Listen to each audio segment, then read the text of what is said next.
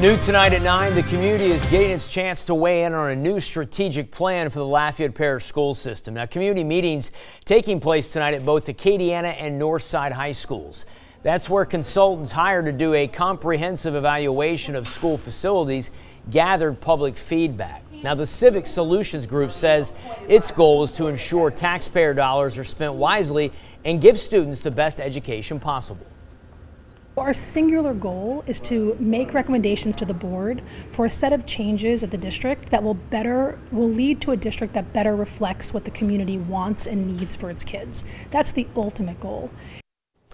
Now, if you missed tonight's meetings, you still have a chance to have your voice heard. There will be another community meeting at Southside High School tomorrow at 6 p.m.